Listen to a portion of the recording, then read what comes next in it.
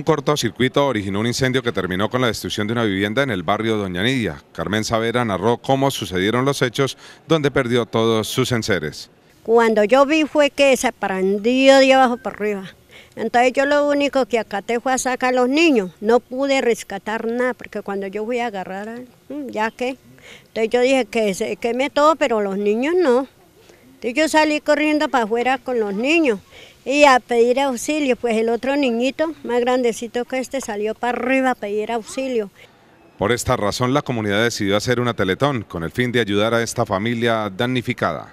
Le pido a, la, a los señores que me hagan el favor y que me colaboren con algo, con lo que puedan, con lo que puedan. Yo no, yo no exijo cosas nuevas ni nada, lo que puedan colaborarme los buenos corazones. Cecilia Soler, gestora social en representación de la Gobernación de Norte de Santander, acompañó esta noble causa entregando ropa, alimentos, útiles de aseo y ayudas que promoverán a la construcción de una vivienda digna para esta familia.